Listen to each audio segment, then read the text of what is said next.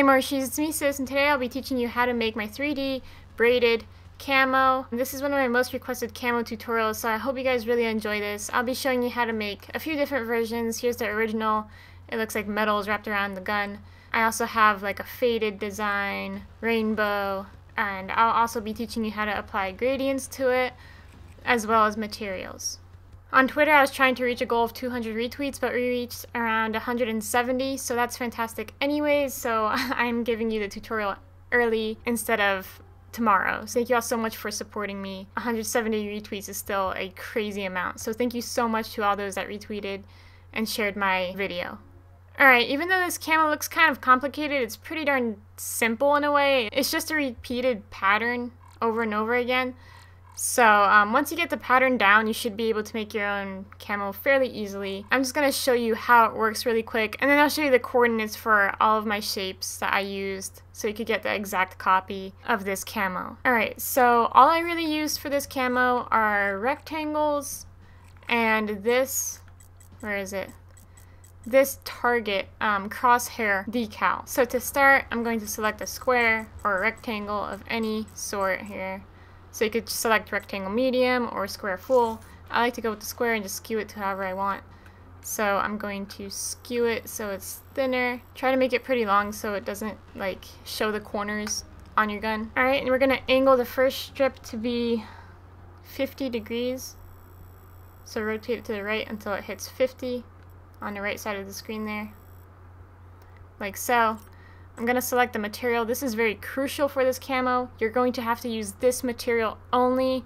Um, even with the color gradients and all that, you have to make sure that there's a base layer of this material. Otherwise, it will have a strange sheen to it and it'll kind of throw off the 3D effect and it'll look kind of flat. So again, select this material, it's the second material in the general materials list, and I'll move it to the left here and we'll get started. Alright, and I'll copy that, paste it, and this one will rotate to 310 degrees. So just rotate to the right until you hit 310 or left. Left would have been quicker.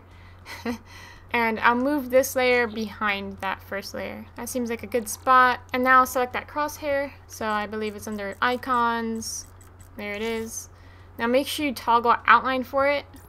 So hit square. And this one you'll rotate to 45 degrees and just enlarge it until it maxes out basically. Alright, now turn it black. This will be like the shading in between each strip of the braid design. And just move it between the two um, strip layers and just kind of tuck it like that so you can see a shadow from the first strip cast onto the second strip underneath it. Alright, now I'll copy layer 3 and make sure you paste it under layer 1 so the second you go over layer 1 just hit paste and it'll go underneath it and this one will move down to right about there. Copy the crosshair again paste it between 1 and 2 alright so now I'm gonna move if you look at that curved part of this shadow you just move that to the corner like so. So you're forming these little corners between these strips and you basically just want to put shading in those corners with those crosshairs so I'm going to do a few more layers and then I'll show you the exact coordinates because you can actually do this without coordinates yourself. But for those of you that want to play it safe and follow coordinates, I'll provide those as well. Alright, copy, paste, corner shadow, copying 4, paste, bring it under there, copy 3, paste, under. And another thing to pay attention to for this camo is where the corners are at. So if you want to set up guidelines, you can. I'll set some to show you what I'm talking about. Alright, so if you look at those two blue lines that I just pasted right there, every point of what appears to be kind of like triangles, these points all line up along those guidelines. Alright, I'm trying to use a triangle as a pointer to show you what I'm talking about. So try to make each strip the same thickness and each triangle here that it's forming the same size. Try to keep it uniform throughout the entire design. Now one more thing before we get to the coordinates is you copy each strip at the end when you're done. This is actually pretty crucial so you're to have to do this. Copy every rectangle, paste it below that rectangle, change the color to white, and then just slowly shift it just so you can barely see a white border. And that border is a highlight for each strip and that highlight just makes it pop and gives it more of a 3D effect. So as you can see here, there's like these little white lines going along the edges of the strips. And that just makes it pop and it makes it more 3D. So if you want a true 3D camo, you have to go through the time and do that. There is a small 3D effect without that white strip, but like I said, it'll just pop more. So trust me. Alright, I'll just quickly go through the coordinates of this camel really quick for anyone that wants to copy coordinates. Again, you can just do it yourself really quick. I think copying coordinates might take a little bit longer, so whatever you want to do. If you're struggling by doing it by yourself, then feel free to just copy these.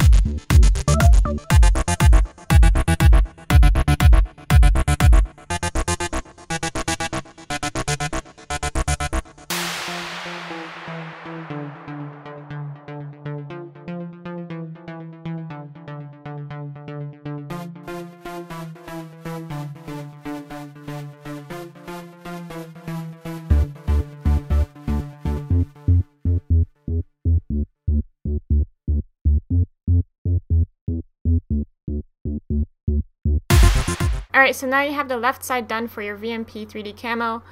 For the top, I kind of like to match things up um, throughout the entire gun. So on the top, I made sure that I have like a little white border here that matches up on the side there, as if it's kind of continuing off the side onto the top and to the right as well. It doesn't match up perfectly, but it's good to have it at least close.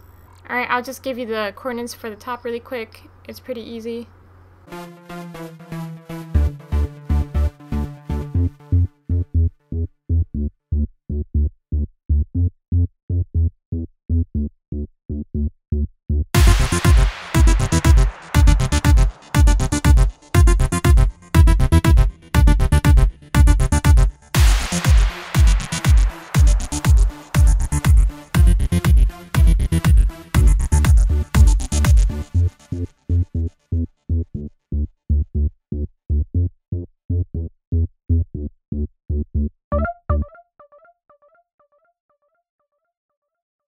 For the seventh layer, I used the carbon fiber material.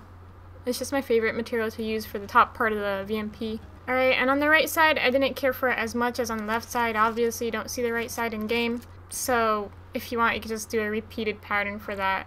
To help me out, I made sure I copied layer 1 on the left side and just pasted it on the right, as well as copying layer 4 and pasting it on the right as well and then just doing the copy paste um, repeat copy the crosshairs as well. So that's it for the metal VMP 3D braided camo.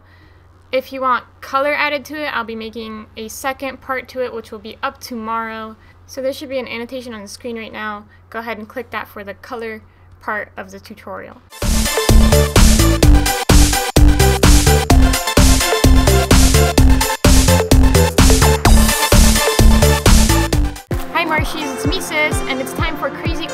number 3, where I pick a crazy class from the comment section every Friday.